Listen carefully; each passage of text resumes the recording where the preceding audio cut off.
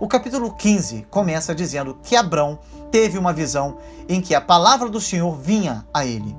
Essa é a primeira vez na Bíblia em que encontramos a expressão veio a palavra do Senhor. E ela é usada mais de 100 vezes no Antigo Testamento. A fé que conquista o medo é a fé na palavra, não nos sentimentos. O termo Senhor usado no texto é Iavé, o nome do grande tetragrama, conjugação do verbo ser em hebraico, dando a entender o eternamente existente, a fonte da vida, o eu sou de Êxodo 3, versículo 14.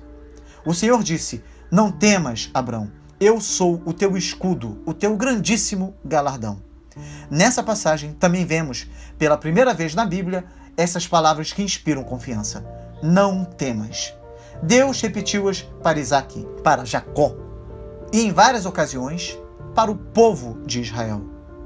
As visões produzem algum temor, pois são incomuns e fazem a pessoa entrar subitamente em uma experiência com o outro mundo. Nem a Babilônia, a Síria ou o Egito conhecia uma religião que fosse pessoal, com uma relação dinâmica operando entre Deus e o homem. Abrão haveria de enfrentar ainda muitas dificuldades, como também os seus descendentes, o povo de Israel. Calvino diz que era provável que Abrão estivesse temeroso de que, embora Kedorlaomer e seus aliados fossem vencidos na batalha, novas tropas com força renovada poderiam atacar a terra de Canaã. E nem mesmo os habitantes da terra estariam livres do temor desse perigo. E também havia o risco de Abrão ser alvo da inveja de seus vizinhos, ou até mesmo a possibilidade de seus vizinhos considerarem que a força usada por Abrão contra os exércitos dos quatro reis pudesse ser usada contra eles. Portanto, não é estranho que ele tenha ficado perturbado, mas o consolo divino era um bálsamo que sua alma necessitava.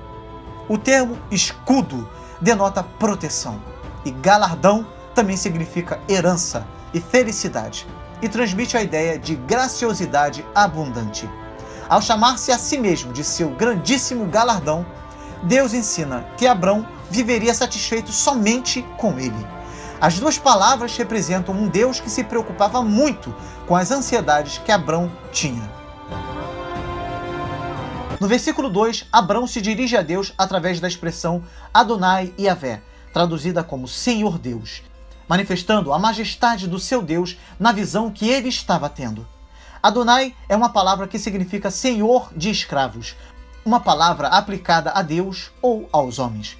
Em certos contextos, pode significar marido. Esse termo fala sobre domínio e autoridade.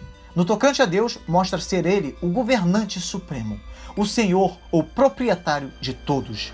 A forma Adonai é o plural de Adon e indica exaltação e reverência. Homens também eram chamados assim, como se vê em Gênesis 42, versículo 30 e 33. Por motivo de respeito, os judeus evitavam pronunciar o nome divino Yahvé, Assim sendo, misturavam as letras consoantes desse nome Yahvé com as vogais do nome Adonai, a fim de produzir o nome Jeová.